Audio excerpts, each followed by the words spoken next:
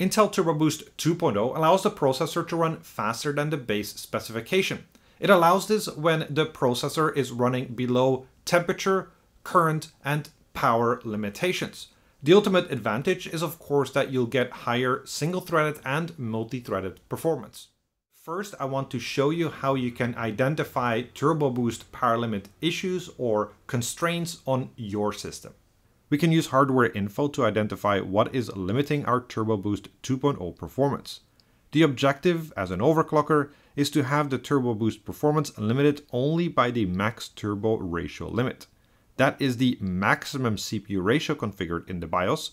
Turbo Boost 2.0 ratio configuration allows us to configure the overclock for different scenarios ranging from one active core to all active cores. That enables us to run some cores significantly faster than others when the conditions are right. Intel provides 8 registers to configure the Turbo Boost 2.0 ratio.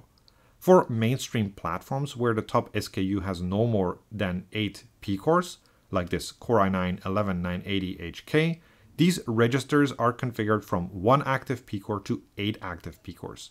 However, on platforms with core counts beyond 8 cores, we can configure each register by target turbo boost ratio and the number of active cores. Note that configuring the turbo ratios based on an active core count is not the same as overclocking each core individually. When we configure a turbo ratio based on the active core count, we have the CPU change frequency based on the actual usage. So let's say, for example, there's four active cores. Well, then the CPU will decide which of the cores will run at the frequency that we set through the turbo ratio configuration. Let's see how things work in the real world. We use Prime95 to push the workload and track the performance behavior in hardware info. When the system is idle, we can see that max turbo limit is triggered. When we launch Prime95 with all cores enabled, we find that quickly the thermal event performance limiter is triggered due to the CPU temperature. Then we find that the PL1 performance limiter is active a few moments later. The solution for the latter is pretty simple. Increase the PL1 limit. Traditionally, when we talk about configuring Turbo Boost 2.0, we refer to the Turbo Boost algorithm, which works according to a proprietary EWMA formula. Usually, there are only three parameters to consider PL1, PL2, and tau. Power limit 1 or PL1 is the threshold the average power will not exceed. Historically, this has always been set to Intel's advertised TDP. PL1 should not be set higher than the thermal solution cooling limit.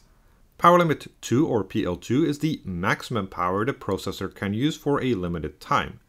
Tau, in seconds, is the time window for calculating the average power consumption. The CPU will reduce the CPU frequency if the average power consumed exceeds PL1. We go into the BIOS and program it to the maximum value of 4095.875 watts. Then we rerun Prime95 and find that a new performance limiter is activated, PL2 or PL3. So we go back into the BIOS and program PL2 to its maximum value of 4095.875 watt. In addition to PL1 and PL2, we must consider a number of other Turbo Boost 2.0 parameters. These parameters include the system power limits, power delivery limits, and temperatures. In our case, we will specifically configure three additional parameters, PL4, VRTDC, and VRIMAX. We rerun Prime95 and find that a new performance limiter is activated, electrical design point slash other, which include ICC Max and PL4. So we go back into the BIOS and program ICC Max to its maximum value of 1023 amps. VRIMAX is the maximum current limit for the voltage regulator. Then we rerun Prime95 and find that the same performance limiter is activated when we enable AVX. So we go back into the BIOS and program PL4 to its maximum value of 4095.875 watt. Contrary to PL1, PL2, and PL3, PL4 is not a measured power limit, but an estimated power limit. The power limit triggers preemptively when the CPU power control unit projects an extreme short power surge beyond PL2 in the very next instant. It projects the power by calculating the potential peak power, or PPP, which is a value based on the component characteristics and the present operating frequency. When PPP exceeds PL4, the PCU will automatically set a lower frequency. We rerun Prime95 and find that a new performance limiter is activated, VRTDC.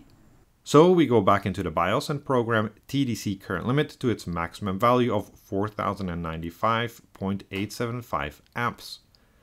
VRTDC is the average per rail current limit of the voltage regulator of the CPU cores.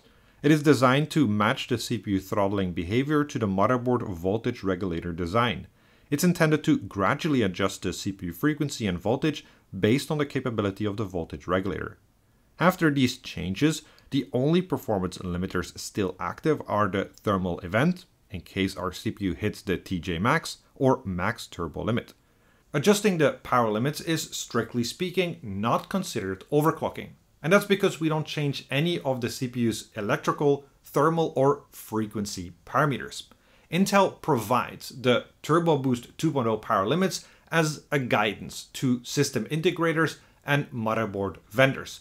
And that's just to ensure that their designs can meet the base specification of the processors. But as we all know, better motherboard designs and better thermal solutions can enable peak performance for longer. But don't take my word for it. It will become very clear what separates overclocking and not overclocking on Intel CPUs. Enter the CPU lock configuration submenu. Here we can remove the locks that prevent any overclocking settings to become effective. Without disabling the locks, overclocking won't be possible. That's it for today. I want to thank you for watching and the Patreons for the support. As per usual, I'll have a written version of this video up on my blog, and if you have any questions or comments, you can drop them in the comment section below. And yeah, that's it. See you next time.